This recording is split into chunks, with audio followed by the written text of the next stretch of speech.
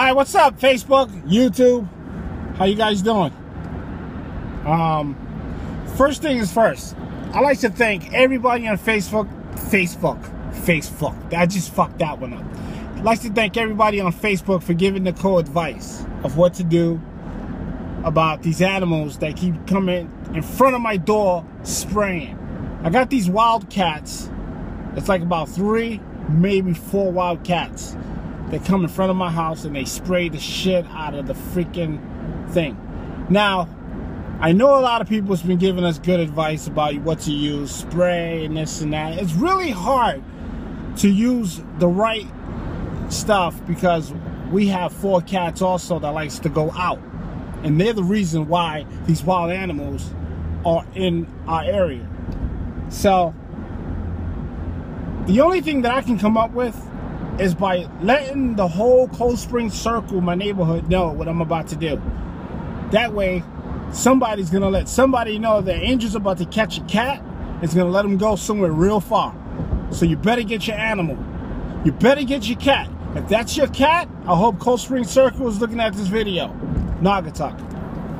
If those are your cats that's coming out of your house, coming into my spot, I'm gonna take them, I'm gonna drop them off somewhere else.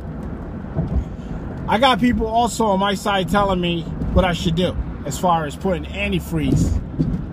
I don't want to put antifreeze because I'm not an animal killer. I don't want to do that. Now, I know some people's probably going to think, oh, that's not right. You're going to catch these animals. You're going to drop them off somewhere in the woods where they're going to get killed. That's not my problem. My problem right now that I have is that these animals are spraying in front of my door and it stinks like hell.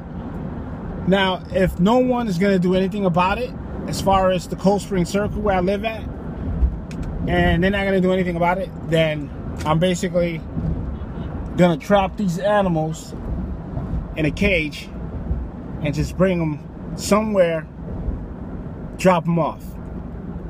And then somebody else had mentioned if you catch these wild animals, you could bring them to the uh, animal shelter and they can take them. So I might look into that too. I might call the animal shelter and find out from them if if I catch these wild animals, could I bring them to them? That way they can fix them, clean them up, and then give them to a homeowner. So they won't be any wild animals anymore. They'll be regular, normal cats. I think that's what I'm gonna do. I think I'm gonna go that route. I'm gonna find out some information from the animal shelter and let them know what I'm about to do.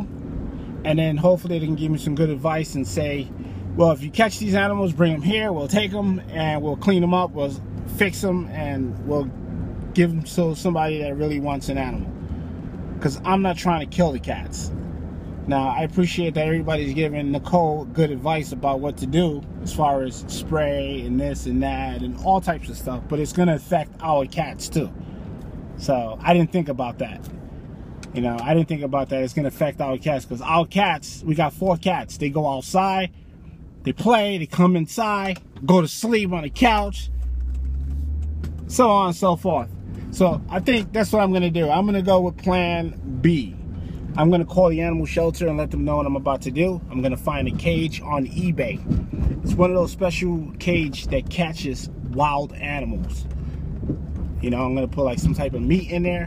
When they go in there, they're gonna kick the thing by accident. The cage is gonna drop the door and they're gonna be trapped in there. So it's not gonna hurt the animals. It's just gonna trap them and then I can figure out what I'm gonna do from there like I said, I'm not going to try to kill these animals or hurt these animals in any way because I love these animals. I just don't like the fact that they spraying in front of my fucking property. That's all. But I just wanted to say thank you, Facebook, for, giving Nicole advice. And that's what I'm going to do. Peace.